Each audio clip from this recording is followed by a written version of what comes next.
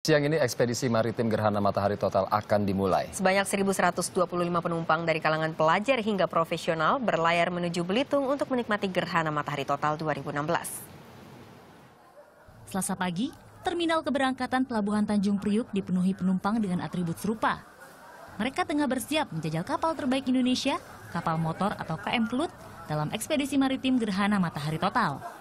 Ada 1.125 orang yang diangkut kapal sepanjang 150 meter ini.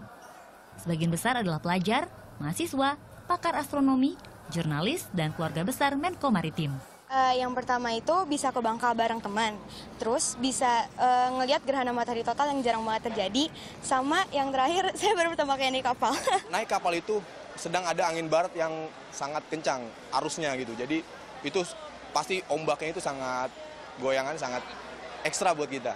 Acara ini digelar Kemenko Maritim. Tujuannya meningkatkan rasa cinta kemaritiman pada generasi muda, sekaligus memperkenalkan pariwisata dan edukasi potensi bahari Indonesia. Kita memanfaatkan momen ini, momen gerhana matahari total, membawa kurang lebih sekitar hampir 600 pemuda yang ada sejak Bodetabek untuk ikut di kapal. Nah dalam dalam rangkaian ini selama ikut mereka kita ada ada ada istilah pemberian uh, wawasan wawasan kemaritiman, Hal ini ditanggapi positif oleh PT Pelayaran Nasional Indonesia atau PT PELNI karena turut mendukung promosi wisata laut Nusantara.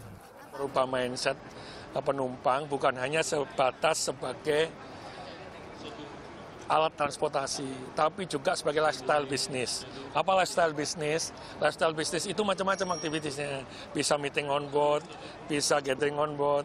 KM Kelut memiliki kapasitas lebih dari 2.000 penumpang dengan berbagai fasilitas mulai dari arena bermain, ruang kebugaran, hingga enam jenis kabin. Perlengkapannya tidak kalah dengan fasilitas hotel berbintang. Kegiatan utama pengamatan gerhana matahari total nantinya akan dilakukan di atas KM Kelut.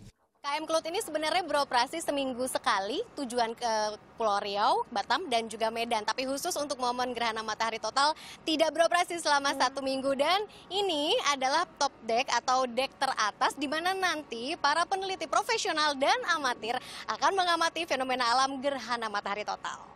Perjalanan ekspedisi maritim dimulai 8 Maret dari Pelabuhan Tanjung Priuk menuju Pelabuhan Tanjung Pandan Belitung dan kembali pada 10 Maret 2016. Para penumpang ini akan menikmati perjalanan laut selama sekitar 12 jam. Tapi jangan khawatir, selama 12 jam itu tidak hanya menikmati keindahan laut, tapi juga ada seminar tentang gerhana matahari total sampai pelatihan fotografi. Anggi Yuniarti, Raidi Fadil melaporkan untuk NET.